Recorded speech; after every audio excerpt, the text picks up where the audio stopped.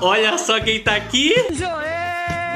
Pessoal, já aproveita que você tá aqui no canal, já deixa o seu like aqui no vídeo, o seu like é o joinha. Outra coisa muito importante, confere se você tá inscrito aqui no canal. Se não estiver, já se inscreve no canal, porque só nesse canal aqui você vê coisas como essa. Um mendigo querendo dar, mas não sabendo pedir.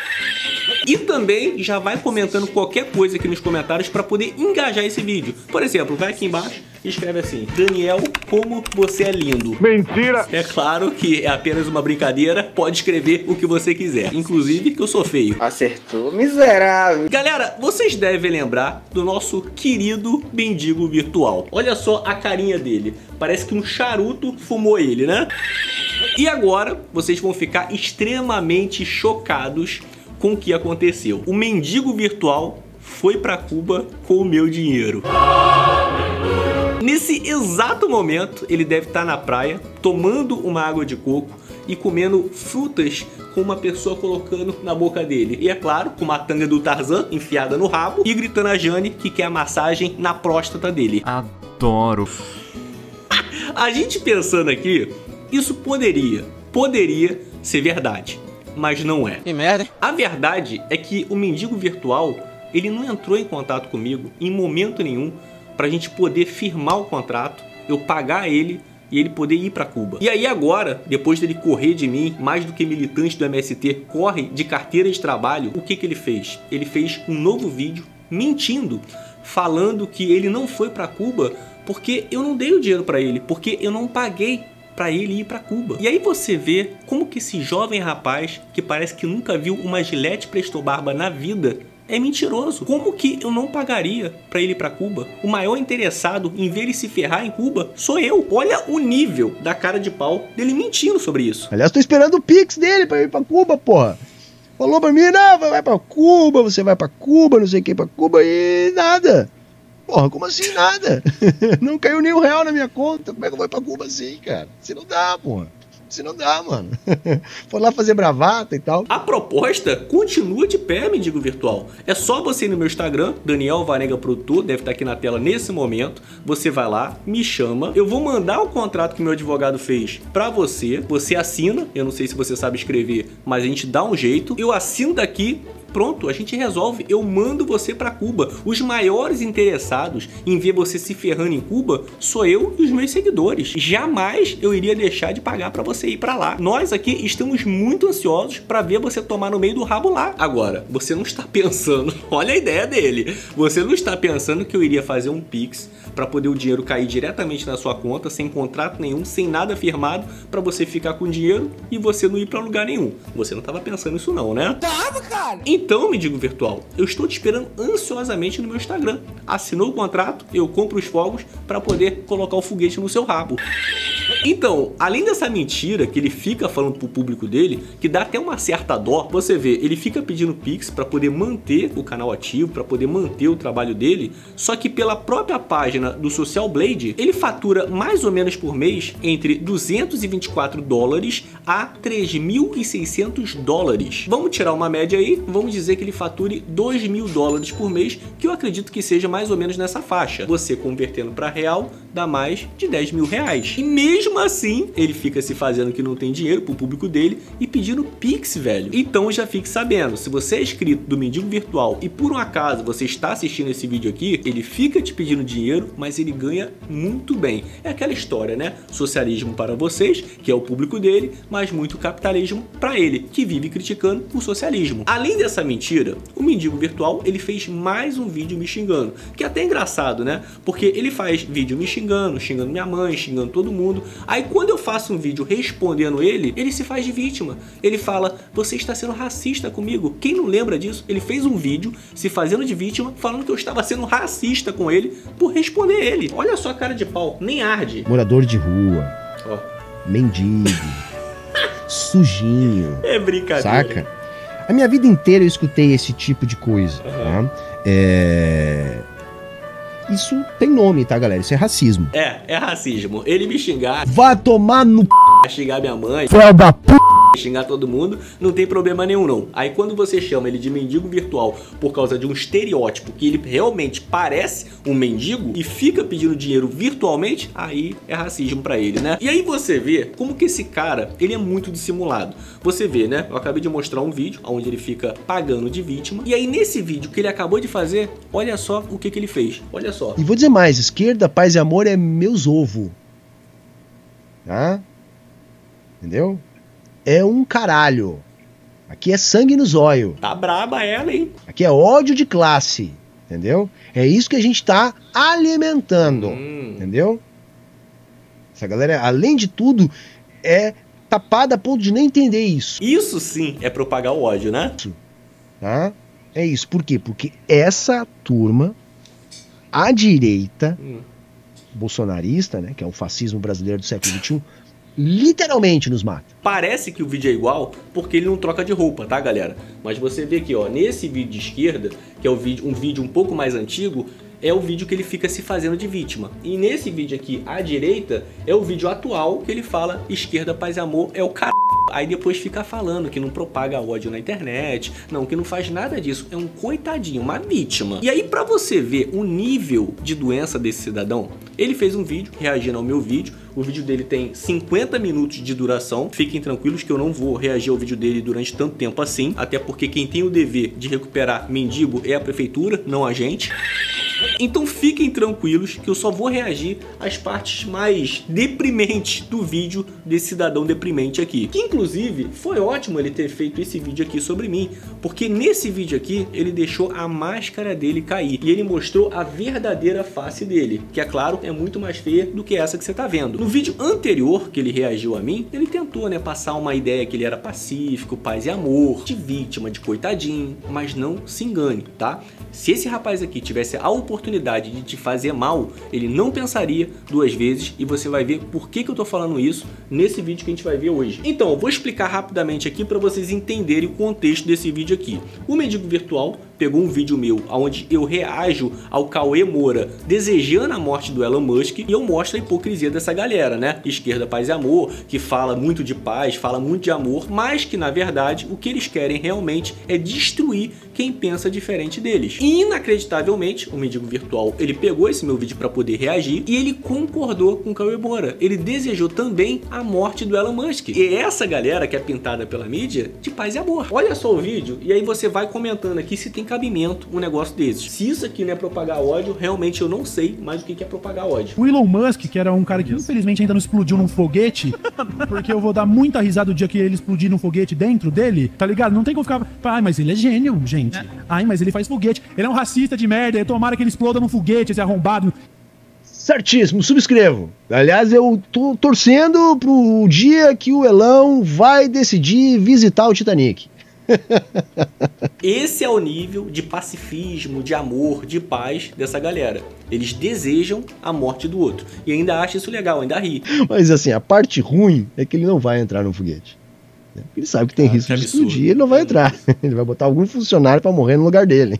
É muito absurdo, velho. Tá? Mas é isso, né? O incel idoso, o herdeiro das esmeraldas, Você sente a inveja na voz dele, né? o troll da internet que comprou uma rede social pra ir ali poder definir quem vai ser cancelado ou não, quem vai. É isso. É o imbecil mor, né? Aí depois fica se perguntando por que, que a vida não anda, por que, que não prospera. Meu amigo, se você tá desejando a morte de outra pessoa porque ela pensa diferente de você, não tem como você ter uma vida boa, né? Pelo amor de Deus. E agora, eu vou mostrar pra vocês uma parte que eu não acreditei quando eu escutei, quando eu vi. Eu acredito também que vocês não vão acreditar. Olha só, esse idiota funcional aqui, ele teve a coragem de falar que quem defende a criminalização das drogas está apoiando o traficante, está apoiando o crime organizado. O quê? É isso mesmo que você escutou. Eu não acreditei e eu tenho certeza que você também não tá acreditando nesse momento. Mas eu vou mostrar pra vocês. Olha só o nível, tá? Se você não leva em consideração todo o contexto social que colocou essas pessoas nas, nas periferias e na marginalidade, você só pode olhar com isso sobre um viés racista. Olha, morar em periferia e em lugar pobre não leva ninguém pra criminalidade, não. A pessoa que escolhe isso pra vida dela. Tanto que eu conheço várias pessoas que moram em lugares humildes e são super honestas. Quem está sendo desonesto aqui é você na sua afirmação, né? É, porque você não vai olhar com a perspectiva de, nossa, por que, que essas 70 pessoas não estão na televisão, no É. cinema? Ué, por quê? Por que, que será?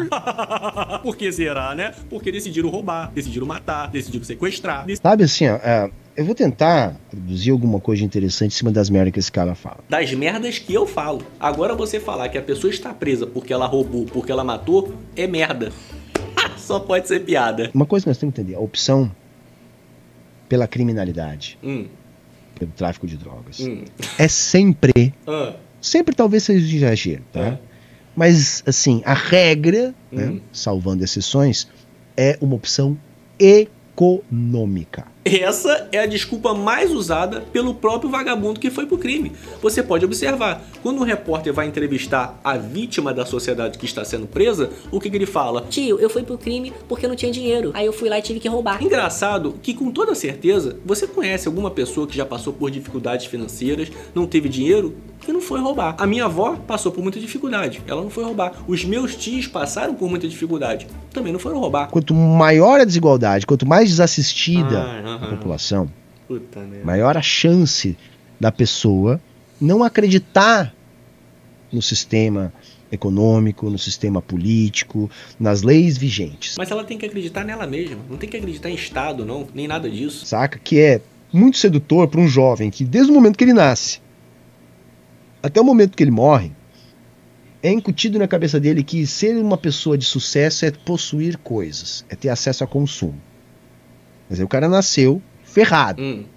né? Ah. Num país racista e ele é preto. Só falta ele falar agora que isso que ele tá falando é motivo para uma pessoa colocar a arma na cara de uma pessoa, até às vezes matar uma pessoa para poder tirar o bem que ela quer, porque ela não tá com dinheiro para comprar. Só falta ele falar uma barbaridade dessa, né? Vamos ver. Ele pode arrumar um, um emprego é, ho- honesto, né? Dito honesto, e ganhar um salário mínimo. Hum.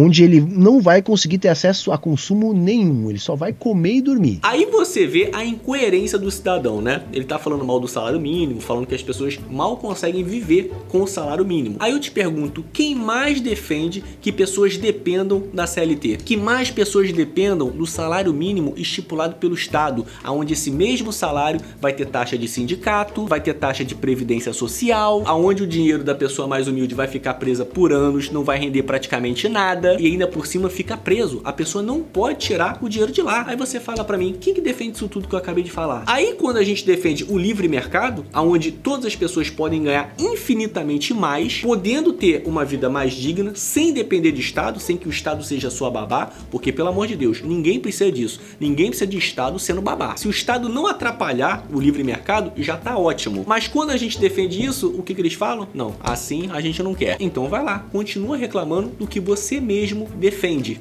Mula. E ainda vai estar levando um quadro de PM, vai estar sofrendo racismo, Meu vai estar Deus do sendo tirado o tempo todo para né, assim como uma pessoa incapacitada, como uma pessoa que não venceu e que o problema é da vida é dele. É impressionante como que o cara se vitimiza. Isso aqui, na verdade, é uma grande desculpa que ele usa pra poder justificar o próprio fracasso dele. Tá na cara isso. Aí ele pode ganhar o que ele Ah. ganha num mês, Ah, tá? Em uma semana sentado, trabalhando pro tráfico, assobiando quando sobe a viatura. ele não falou isso não. ele não falou isso não. Mas da onde ele tirou que não tem como você fazer dinheiro de uma outra forma que seja honesta. Só tem como ganhar dinheiro agora sendo olheiro de traficante ou sendo traficante? Pelo amor de Deus, eu não tô escutando isso não. O cara teve a coragem de dar esse exemplo. Olha só o depoimento de um dos meus alunos, o Yuri Souza. Olha só, ele fez mais de 2 mil dólares, que hoje convertido para real dá mais de 10 mil reais, em um pouco mais de um mês. É isso mesmo que você escutou, em um pouco mais de um mês, trabalhando da casa dele, ganhando em dólar, sem ele precisar falar uma palavra em inglês. Quem quer faz, quem não quer arranja uma desculpa. Olha só o depoimento dele. Irmão, olha isso. Realmente, muito obrigado por tudo que me ensinou e por ter me apresentado esse mercado. Tinha muitas dúvidas mesmo, mas depois de conquistar esse resultado, 2.064 dólares, em pouco mais de um mês, é difícil de não acreditar.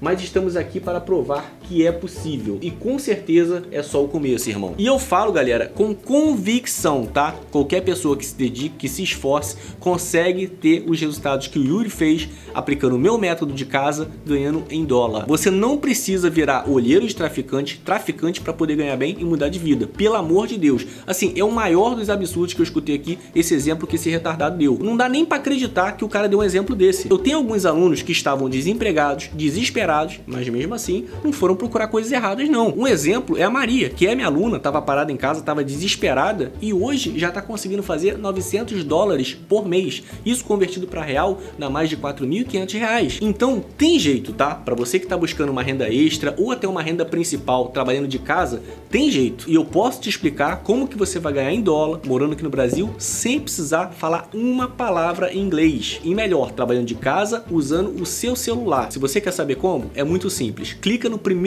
link da descrição, pode ser agora ou depois do vídeo, você vai para o meu WhatsApp, vai falar comigo particularmente, eu vou te explicar como que funciona o método e vou te dar um treinamento gratuito. Então não perde tempo, clica no primeiro link da descrição, pode ser agora ou depois do vídeo que eu vou estar te esperando no meu WhatsApp. Mas não cai nessas balelas não, pelo amor de Deus. Meu velho, quanto é que você ganha lá no seu trabalho? Ah, você ganha 1.500. Então é o seguinte, eu vou te pagar 1.500 por semana. Qual é o trampo? O trampo é ficar sentado aqui na, na esquina. Quando a viatura dobrar, você vai fazer... Meu Deus do Esse céu. é o seu trabalho. Porra, o moleque vai pensar, mano, mas peraí, cara, eu nem posso ser preso por isso aí. Sério, que exemplo é esse, cara? Que mentalidade é essa, velho? Pô, né?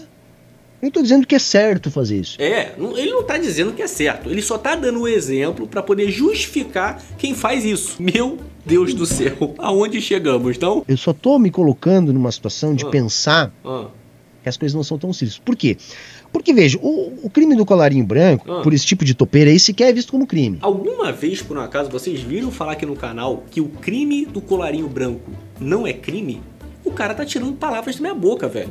Tem problema, só pode. O tráfico de drogas na periferia só existe porque a droga é proibida pela lei. De onde ele tirou isso que ele acabou de falar? Ele acha mesmo que se a droga for legalizada, o traficante, o bandido, ele vai tirar um CNPJ, ele vai pagar imposto, ele vai ligar pro contador e falar assim: olha, tira minha guia do Simples aí, que eu preciso pagar esse imposto, hein? Não vai atrasar. Meu querido, você acha mesmo que o cara que anda no crime, depois que legalizar a droga, ele vai querer andar certo? Mesmo que legalize a droga, vai continuar existindo tráfico de droga. Porque você acha o quê? Você acha que o bandido, que o criminoso, ele vai pagar imposto? Não, ele vai vender mais barato, sem imposto. Será que é difícil entender isso? Por favor, né? Motoqueiro fantasma sem moto. No dia que liberar a droga e regulamentar, Meu né? Deus. Porque tem que liberar pra regulamentar, acaba com isso tudo, viu? É sim, pô. O bandido vai pagar imposto. Acredita.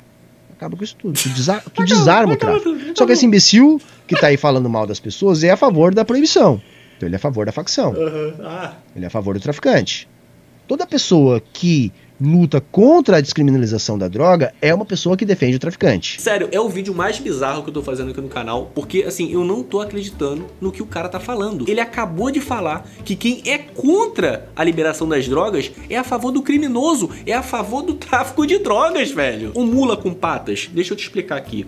Quem é contra a legalização das drogas ou a descriminalização das drogas não está preocupado diretamente com o traficante. Tem os seus problemas? Tem os seus problemas. Mas a preocupação de quem não quer que libere as drogas é com a pessoa que se vicia. É aquela pessoa que vai acabar com a própria vida dela. É aquela pessoa que vai acabar com a vida da família dela. Porque a família vai ver ela se autodestruir na frente dela, sua anta. Ou você não vê que vários jovens se viciam, acabam com suas vidas, morrem e as famílias ficam de luto pro resto da vida. Quantas vidas vão ter que se perder pra anta enxergar isso? Sério, eu achei que ele era burro, mas ele ultrapassou o nível da Dilma. Ponto. Ah, Fim. Acabou. É isso. Se tu regulamenta, legaliza e regulamenta, o que que acontece? É acontece o que está acontecendo no mundo todo. ah, Os capitalistas abocanham isso, meu Deus. isso é instrumentalizado pelo capital, e aí sai da mão da facção. Ele ainda tá acreditando que o bandido vai pagar a guia do Simples Nacional. Ele vai ligar pro contador pra pagar o imposto. Ele ainda tá acreditando. Aí você vai ter toda sorte de tipo, de qualidade e de Aham. preço. Aham. E o consumidor, que é majoritariamente classe média, tá? Ah, Uma uma outra coisa que a gente tem que entender é o seguinte: quem é o cliente do traficante quem que é? que Fala tá pra na periferia? Ah, Que na verdade não é nem o traficante. Na periferia tu tem o passador, né? Tu tem a ponta, né? Tu tem o varejista. Só falta ele falar o comerciante, né? O empresário. né? Porque o traficante mesmo tá num condomínio, né? Tá num bairro chique, né? Tá andando de carrão e tá de terno e gravata. Esse é o traficante. E tá errado do mesmo jeito. Tem que ser preso e punido do mesmo jeito. O varejista é o que vai preso. Geralmente é o preto, pobre, favelado. Ele não perde a oportunidade de se vitimizar, né? Aí eu vou te perguntar: o Fernandinho Beiramar, ele é branco? Não, O Ney, que foi preso, ele é branco? não, O Rogério 157, ele é branco? não. São todos grandes traficantes, mas pra ele não importa, né? O que importa é a narrativa que ele criou. Você desmantela esse aí. Você desmantela esse aí. Daí o engravatado vai ou sair do negócio, ou vai legalizar o negócio e tal, você ferra com o varejista. Ah. Tá? Aí esse moleque tá ali, dali a pouco, ele começa né, a perceber várias outras coisas. Pô, se ele tem grana, ele tem mais acesso ao consumo, ele tem mais aceite no seu círculo social, porque o capitalismo é assim, tá, galera? Ninguém pergunta onde é que você tirou o dinheiro. Entendeu? Quase todo o bacana, né, é um ladrão. Eu fico surpreso com a facilidade que ele tem em falar bosta, né? De onde ele tirou esse dado? Que toda pessoa que prosperou na vida é ladrão. De onde ele tirou esse dado? Do rabo? Certamente que sim. Em alguma medida. Ou ele é um sonegador de imposto, Cara, né, ou ele é um, um- um contrabandista, né? Ou ele tá Ah. desviando FGTS de funcionário, né? Ou ele passou algum sócio para trás. Ah. Geralmente é isso. A opção trabalho não tem não, né? Não existe no vocabulário dele. Você pode ver, pra ele, o pobre que está trabalhando está sendo explorado. O rico que ficou rico trabalhando, ele está roubando. A palavra prosperar através do trabalho não existe pra ele. Sério, isso aqui é inveja de quem tá conseguindo prosperar. E dá até pena de um cara desse. Porque você vê essa atitude dele, que é de um cara que nunca conseguiu prosperar na vida. Então, como ele tá com esse rancor dentro dele, ele só consegue criticar quem conseguiu um sucesso, quem prosperou na vida, pra ele poder justificar o fracasso dele. Esse tipo de gente, cara, nunca vai prosperar, nunca vai prosseguir na vida. E pior, né? É o tipo de cara que ainda deseja a morte das pessoas, que ainda é pior ainda essa situação. Você imagina a energia pesada que esse cara carrega com ele. Eu fico com pena de quem convive do lado de uma pessoa dessa, que tem que ficar ali com aquela energia negativa, com aquele cara deprimido, com aquele cara rancoroso. É deprimente, é muito deprimente mesmo. Que é isso, né? né? Que faz o, a pessoa ter algum sucesso quando já não nasceu herdeiro. né? Porque o capitalismo é isso. Meu Então, Deus. vejam, Essa galera, eles estão numa situação de mundo onde o seu círculo social, sabe, é, os relacionamentos, tudo é pautado pela grana que você tem. Aí o molequinho que tava ali assobiando, ganhando Hum. 1.500 por semana, Hum. daqui a pouco ele ganha uma, um- uma oferta. Mano, se você levar o bagulhinho daqui pra lá, Hum. só nessa sua levada daqui pra lá eu vou te pagar mais tanto. Aí o cara pensa, porra, mano, isso eu demoro três meses pra ganhar de motoboy. Engraçado que o meu primeiro emprego foi de motoboy. Eu ganhava bem pouco, realmente ganhava pouco. Ficava ali com a bunda quadrada de tanto ficar sentado o dia inteiro fazendo entrega. Só que nunca passou isso pela minha cabeça. De eu entrar pro tráfico, de eu começar a fazer coisa errada, porque, sei lá, ah, eu vou prosperar, eu vou melhorar de vida. Nunca passou isso na minha cabeça. Eu consegui mudar minha realidade, eu consegui mudar minha vida através de muito esforço, trabalho, adquirindo conhecimento. Quebrei a cara muitas vezes e isso também foi muito importante no meu crescimento. E o mais importante, ter humildade para poder estar aprendendo, para poder estar escutando quem sabe, para poder crescer. Mas, segundo a lógica do mendigo virtual, quem prospera, quem cresce na vida e quem enriquece faz isso roubando. Aí você me diz, é de dar pena ou não é? O cara não sabe, cara, a realidade do mundo. Realmente, o cara é de dar pena. O cara só quer que eu leve daqui pra lá. Ah, Meu mas você pode Deus. parar em cana, né, se te pegar. O moleque vai começar a assumir o risco. Sabe o que que é? O moleque vai achar que isso é errado. Ah, é errado, roubar é Ai, meu errado. Deus. Vai dizer isso pro moleque que sabe que o patrão dele rouba, Que? né?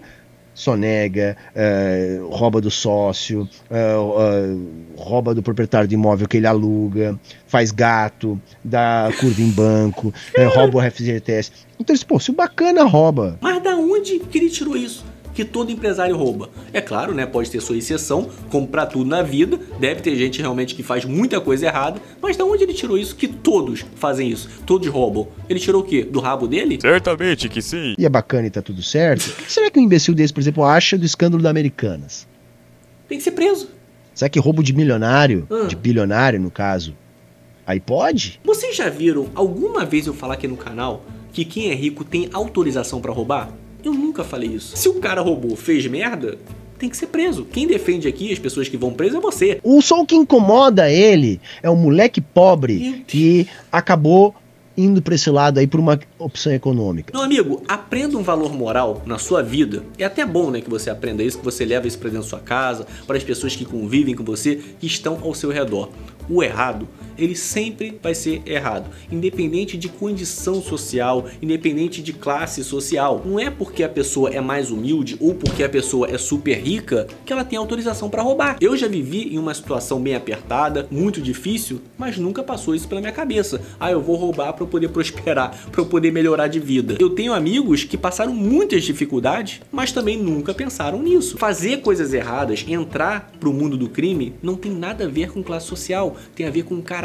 Não adianta você querer justificar, querer argumentar falando que quem tem uma classe social mais baixa acaba indo pro crime, porque não vai colar esse argumento. Porque primeiro que não é verdade. É até uma injustiça quem tem uma classe social mais baixa, é honesto, o cara falou uma merda dessa. E segundo, que quem tá assistindo esse vídeo aqui não tem o QI baixo igual o seu para poder pensar assim. Isso pra mim, na minha opinião particular, é justificativa de vagabundo. Eu não tô defendendo, Hum. fique bem claro, essa postura do moleque pobre. É só tá falando há 20 minutos sobre isso, né? Tô tentando colocar isso em perspectiva e entender como que essas coisas acontecem. Até porque a maioria das pessoas na periferia não opta por esse caminho. Ah, Prefere ótimo. se fuder a vida inteira, ganhando um salário mínimo, um salário de merda e Se fuder não, viver de forma digna, ser honesto. Isso não é nenhum demérito pra ninguém não, tá, meu querido? comendo pão que o diabo amassou do que pra ir pra esse lado. A maioria, a, esmagadora maioria. Engraçado que ele vem falar isso agora, depois de ter ficado não sei quantos minutos no vídeo, dando justificativa pra pessoa ir pro mundo do crime. Olha só que contraditório, não? Tá? Só que eu não posso explicar Ah, a pessoa que vai pro lado do crime a partir de um valor moral, porque isso não explica nada. A gente tem que entender a razão estrutural. Só que como esse cara só quer lacrar, uhum. ele não vai procurar entender as coisas em perspectiva pra saber a raiz do problema. Porque se você entende a raiz do problema, você tem condições de resolver o problema. Meu amigo, eu já falei e vou repetir. Ser humilde, ser de uma classe social mais baixa, não tem nada a ver com virar bandido. Você está usando uma justificativa injustificável. Eu sou um cara interessado em acabar com esse problema. Eu não quero o jovem na criminalidade. Eu não quero o jovem no tráfico. Então eu tenho que entender como acabar com isso. Até aqui, por um acaso, ele deu alguma ideia efetiva de como acabar com a criminalidade, de como acabar com o tráfico? Não. Pra mim, ele só defendeu. Agora, ideia de como acabar, até agora eu não vi nada. Esse cara não quer. Esse cara simplesmente quer fazer limpeza étnica e quer botar o preto pó periférico na cadeia. Não, eu não quero colocar o preto, o branco, o amarelo na cadeia. Eu quero colocar o bandido na cadeia. Sabe aquele cara que entra no ônibus de manhã cedo e faz a limpa no trabalhador? Todas as pessoas que estão indo trabalhar, rouba todo mundo? Sabe aquele cara que rouba uma mulher, que estupra uma mulher? Então, é esse cara que eu quero colocar na cadeia. Independente da cor dele. Pode ser branco, pode ser preto, pode ser amarelo, pode ser qualquer cor. Fez merda, tem que ir pra cadeia. Ah, mas ele vai virar um um cara mais especializado no crime. Ele entrou lá como um aviãozinho, ele sai de lá como varejista do tráfico. Mas é assim, sabe por quê? Porque vocês, militantes de esquerda, sempre quando surge alguma ideia pra poder colocar o vagabundo que está dentro da cadeia pra trabalhar, o que, que vocês falam? Ah, mas não pode tratar elezinho assim. Não pode colocar ele pra trabalhar. Como se fosse um pecado o cara trabalhar. Nossa senhora, olha só que coisa horrível. Vocês são os primeiros a apoiar a saidinha, vocês são os primeiros a apoiar a redução de pena. Como que esse cara que vai preso, ele vai pensar em algum dia na consequência do que ele fez? Sabe qual é o recado que você tá dando pro vagabundo que coloca a arma na cara de um trabalhador? É o seguinte, olha só, você pode fazer o que você quiser. Por quê? Porque você vai pra cadeia, vai ter um idiota te defendendo e você vai ter saidinha, você vai ter redução da sua pena. Ou seja, o criminoso ele é premiado pelo que ele tá fazendo. Então hoje a gente tem essa faculdade do crime dentro da cadeia exatamente por causa dessas políticas de esquerda que vocês mesmos defendem. Não gostou? Fica de cox e começa a chorar no banho quente. Sabe o que que é luta de classe? É isso, tá, gente? A gente quer Hum. a morte dos bilionários enquanto classe. Vocês escutaram isso, né? Esse que é o cara do paz e amor. Aí depois você chama ele de mendigo virtual, ele se faz de vítima. Assim, olha só. Isso tem nome, tá, galera? Isso é racismo. Aí ele vira vítima, né? Tadinho. E ele continua falando bosta, olha só. Esse cara que eu tô Ah. reagindo quer a morte da classe trabalhadora enquanto classe. Então, se o negro periférico for pra cadeia, se ele morrer na cadeia, foda-se, melhor assim. Então, segundo a lógica dele, a gente tem que defender o cara que tá preso, o cara que rouba, o cara que mata, o cara que estupra, o cara que coloca a arma na cabeça de um cidadão de bem. Será que alguém já avisou a ele, deu um toque nele e falou assim: olha. Os caras que estão na cadeia é porque fizeram merda, é porque roubaram, fizeram coisas erradas. Muitos deles até mataram pessoas inocentes. Será que alguém já deu um toque nele, já falou isso com ele? E o que é mais incoerente que eu tô pensando agora é que durante o vídeo todo, e olha que tem bastante vídeo, até agora ele não falou um ai sobre a vítima do vagabundo. Sabe aquela pessoa que sofreu na mão do vagabundo, que é a vítima de verdade? Ele não falou nada até agora sobre ela. Você já observou que ele só colocou o vagabundo como coitadinho, como uma pessoa que foi para esse mundo porque não teve oportunidade e tudo mais, e da vítima até agora nada? Essa é a inversão de valores que a gente está vivendo hoje. Isso é Hum. luta de classes. Luta de classes. Com uma diferença. O Cauê ele tá falando em sentido figurado. O bolsonarismo mata real. 700 mil pessoas morreram na pandemia por causa do bolsonarismo. Ah, sim, né? A culpa é sempre do bolsonarismo. Uma doença que surgiu na China, que não tinha remédios, não tinha tratamento, que quando surgiu a vacina, ao contrário do que os militantes doentes ficam falando, o Brasil foi um dos primeiros países a conseguir a compra da vacina, a vacina experimental que muitas pessoas queriam tomar a qualquer custo. É só você ver, a primeira pessoa que se vacinou no Brasil foi a enfermeira Mônica Calazans, de 54 anos. Ela se vacinou sabe quando? 17 de janeiro de 2021. O primeiro mês do ano, meu querido. Mas ainda assim, tem militante retardado criando narrativa, como você vê esse doente mental aí. Agora a dengue está com um surto que nunca foi visto no Brasil. Mais de 4 milhões de pessoas contaminadas com dengue. Batemos recorde, infelizmente, né, de mortos por dengue. Aí eu te pergunto, cadê a vacina? Ah, o governo ainda não agilizou, né? Não comprou, não fez nada. Cadê a verba da campanha que era para poder combater a dengue? Ah, eu esqueci. O governo também cortou essa verba. Mas é claro, o mendigo virtual não vai comentar nada, né, ó. Ele vai ficar quietinho. Sabe por quê? Porque ele fala de acordo com a conveniência dele. Aí fica a pergunta, né?